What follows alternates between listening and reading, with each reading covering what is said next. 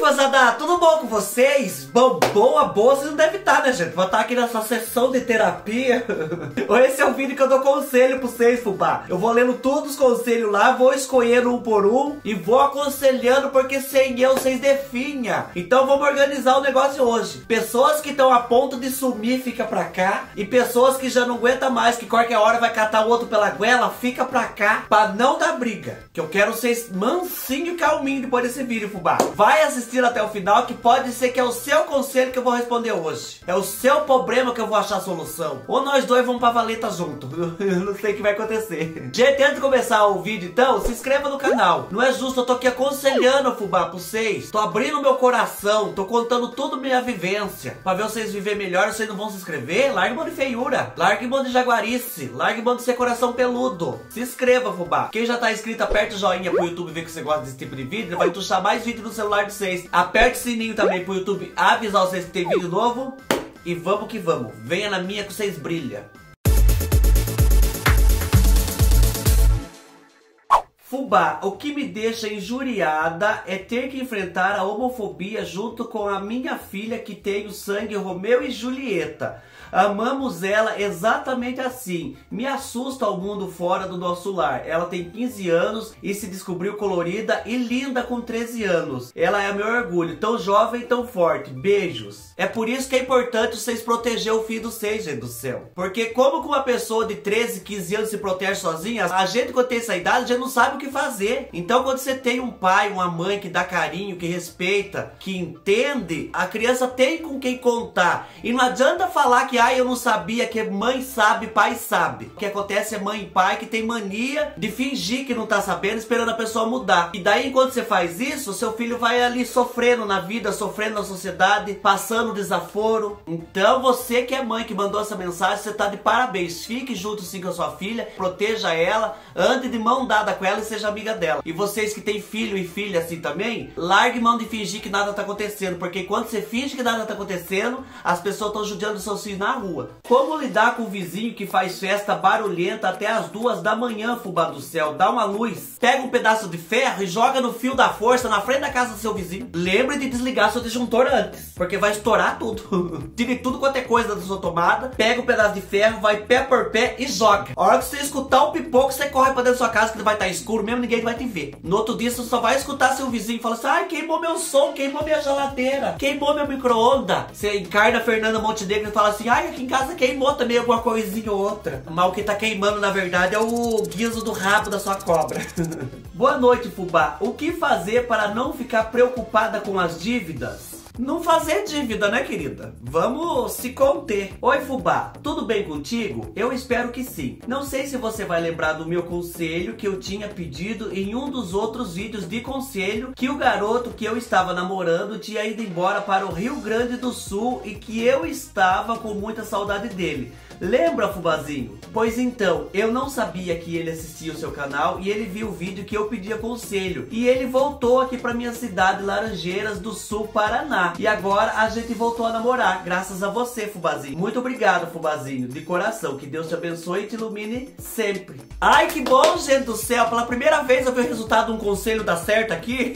Tomara que vocês durem para sempre, viu? Até ficar só o pó, só a capa do Batman. Fubá, tem um filho de 11 anos e ele só vai à casa da avó paterna duas vezes por ano. E ainda quando vai, só sai aquelas fofocas da família. E outra, moro a poucos metros dos parentes do meu marido. Eu não convivo mais com eles. São pessoas boas e também na língua. Você acha que eu fiz errado de me afastar, Fubazinho? Não, não fez. Infelizmente, a gente não escolhe a família que vai nascer. E tem família que é crica, gente do céu. Eu penso assim, se alguém da minha família não me faz bem, eu não vou lá na casa deles e muito menos abro minha porta pra isso. Ah, desaforo, já não basta os problemas que a gente tem na vida, arrumar mais enguiço com família ainda? Deixa isso pra lá, você tá super certa. O importante é sua paz. Fubazinho, quando eu assisto seu vídeo, eu fico com a calcinha molhada. O que eu faço? Pois põe a calcinha atrás da geladeira para secar. Fubá, me dá um conselho. O que fazer para seguir em frente quando sempre tem alguém que lembra do seu passado e desanima a gente a mudar? Pois além de esquecer o seu passado, você tem que dar um jeito de esquecer essa pessoa que faz você lembrar do passado. Vai esquecendo tudo que te arrasta pro passado, nem que seja para esquecer as pessoas junto. Quem tem que mudar nesse caso é você. Fubá do céu, de onde você tira essa energia tão especial para nos alegrar. Tem dias que não estou tão legal e é só começar os seus vídeos, qualquer um deles, meu ânimo já pula para cima e eu fico bem. Agradeço a Deus por ter te conhecido assim, como quem não quer nada. Tenho certeza que esse é o seu propósito aqui na Terra. Mais uma vez te agradeço, continue assim e sorria sempre, fubá. É o que eu faço todos os dias, depois que te conheci. Beijo, beijo. Olha, gente do céu, o que eu faço às vezes quando eu tô desanimado, que eu já falei pra vocês que eu não tô animado todo dia, tem dia que eu acordo jururu, tem dia que eu acordo assim sem vontade nenhuma de fazer nada, eu só quero ficar na minha cama deitado. Mas eu sei que eu tenho que levantar, eu tenho que trabalhar, então o que, que eu faço? Eu começo a agradecer. Eu falo para mim mesmo, agradeça o serviço que você tem, agradeça a vida que você tem, porque há poucos anos atrás você tava entregando currículo em tudo quanto é lugar e ninguém te chamava, seu telefone não tocava e você não tinha oportunidade. E daí eu lembrando daquela situação que eu passava e da situação que eu tô hoje, eu agradeço. Então o conselho que eu dou pro você, Fubá, encontre alguma coisa boa na sua vida, alguma coisa que atualmente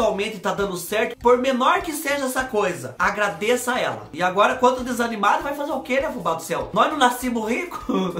Ai, tem que ir com desânimo e tudo. Fubá do céu, ou eu faço vídeos, ou eu faço faxina em casa. As duas coisas não dá. Socorro, Fubá, o que eu faço? Ainda bem que meu marido não me enche a paciência. Já pensou? Pois faça vídeo de faxina, igual eu faço aqui. Às vezes eu tô tão atarefado, eu não faço os vídeos cozinhando aqui e conversando com vocês. O importante é você não parar, faça vídeo. E se um dia o seu marido começar a encher o saco, faça vídeo quebrando o cabo da vassoura nas costas dele. Fubá, o que fazer com a minha sogra que só fala mal de mim pelas costas? Peide. Fubá, como evitar nossos filhos sofrerem tanto preconceito de não ser normal para a sociedade? Meu filho Luiz é autista e já passa por umas coisas até com os professores despreparados para receber um anjo que são crianças sem maldade. Olha, infelizmente, o preconceito sempre vai existir. Eu acredito no meu coração que faça parte do crescimento espiritual do seu filho ter que enfrentar esse tipo de situação. Mas se ele vai enfrentar sozinho ou ele vai ter uma mãe maravilhosa do lado dele para enfrentar junto, é uma escolha sua. Então você seja forte, pegue na mão do seu filho que o amor sempre vai vencer. Fubá do céu, o que eu falo para as pessoas que somem e quando precisam de mim aparecem e ainda vem falando assim: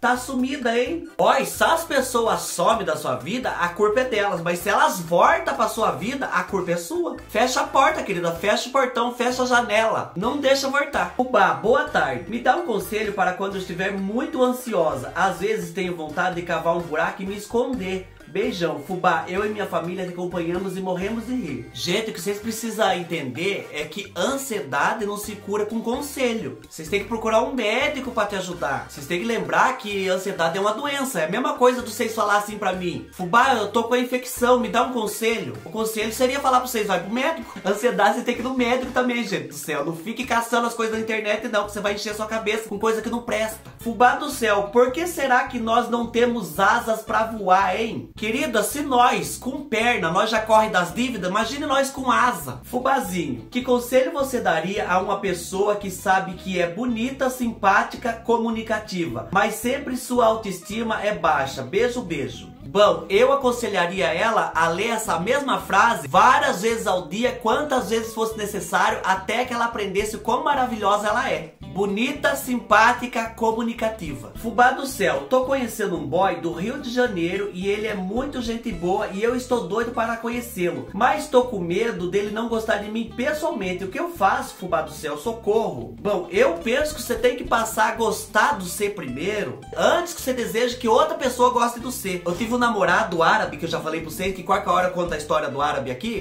e o árabe falou pra mim que quando a gente tem mania de se apaixonar por pessoas que estão longe, é porque inconscientemente a gente tem medo de sofrer. Daí a gente se apaixona por gente que tá lá no outro lugar que não tem como namorar, que é uma autodefesa da cabeça. Uma coisa assim que ele falava. Então às vezes você tá caçando gente lá na casa do chapéu já por esse medo. Goste do ser primeiro e tenha certeza que vai aparecer um monte de gente que gosta do ser também. Agora, quanto ao menino do Rio de Janeiro, querida, hoje em dia tem foto, tem câmera, sem filtro, viu? Mostra o vasilhame pela câmera antes de bater lá no Rio de Janeiro, que pelo menos você economiza dinheiro qualquer coisa. Beijo, beijo. Fubazinho do céu, as pessoas da minha escola têm preconceito só porque sou bissexual assumido. Não aguento mais isso. Socorro, fubá. Bom, quanto ao preconceito, você vai ter que ser forte. Vai ter que aprender a enfrentar essa situação. Mas se alguém te discriminar, você vai lá na diretoria, você fala com a diretora, você fala com a conselheira, você fala com quem tiver lá. Porque discriminação é crime e você pode denunciar. Socorro, fubá! Tenho um filho de 4 anos que só faz malcriação. E quando vou corrigir, o meu marido grita comigo, me chamando atenção na frente do nosso filho. Isso está acabando com o nosso casamento. Me aconselha, fubá, abraços.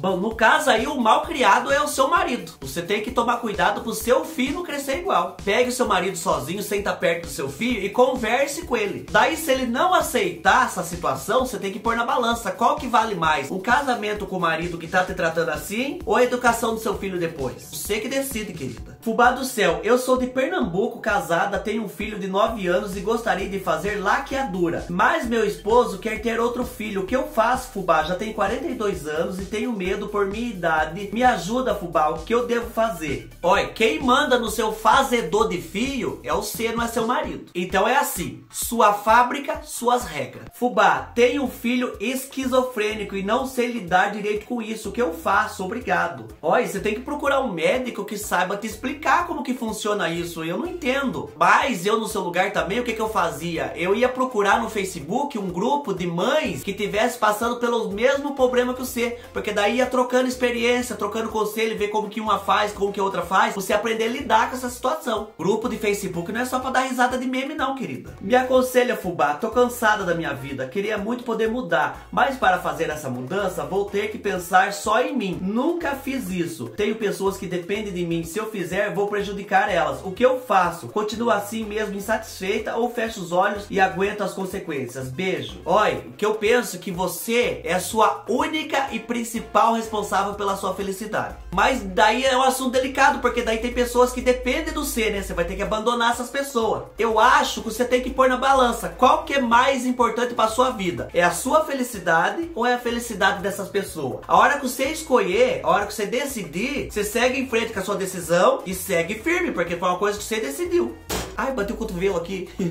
Fubá do céu, o que me deixa injuriada é que meu marido vive me expulsando de casa porque eu estou desempregada. Vive me humilhando. O que eu faço, Fubá do céu? Observação: não tenho mãe, ela faleceu há 5 anos. Ah, Fubá, tenho quatro filhos para completar o pacote. Olha, primeiro você tem que se valorizar e parar de aceitar essa situação. Se a casa dos seis for alugada, dê um jeito de arrumar um emprego, arrume seu canto e dê a volta por cima. E os filhos não são problema, Fubá, porque o seu marido vai ser obrigado a pagar a pensão dos quatro. Daí depois que você fizer tudo isso, às vezes você posta uma foto com uma taça de champanhe assim no Facebook só pra fazer um, uma birra pra ele. Pode ser que dentro da taça tenha tubaína, mas o importante é a foto lá pro seu marido ver que você tá na boa, querida. Tô desacorçoada, fubá do céu. Tenho 53 anos, nova demais para aposentar e velha demais para trabalhar. Ninguém me dá emprego. O que eu faço, fubazinho? Olha, emprego é difícil mesmo, né, gente? Eu, eu penso assim que na sua situação você tem que começar a frequentar lugares que tenha várias pessoas da sua idade. Eu tô falando isso que é pra daí você começar a conversar conversar com elas, pedir conselhos para elas, ver como que elas agiriam nessa situação, trocar experiência, né? E não deixe de acreditar em Deus, fubá. Que logo, logo, aí você tem certeza que vai abrir uma porta para você em algum lugar que você menos esperava, de uma maneira que você nunca imaginava. E você vai ver como tudo vai melhorar. Ai, gente, acabou aqui. Nossa, adorei os conselhos de hoje. Gente, nossa, o povo tá que tá revirado na vida, né? Tô adorando fazer conselho aqui pra vocês. Eu espero que vocês estejam gostando também, fubá. Aqui embaixo tem playlist, tá lotado de vídeo pra vocês. Dê uma fuçada, boba, como quem não quer nada. Lembre de trazer mais gente aqui pro canal. Pega sua vizinha sofredora da vida, fala, venha lá que agora ele tá dando conselho. Aqui do lado tem dois vídeos pra você assistir, assistam dos dois. Muito obrigado por me assistir até aqui. E sorria sempre, fubá. Por mais problema que você tem, o que, que ele pode fazer? Tem que levar pra barriga. Tchau, até o próximo vídeo.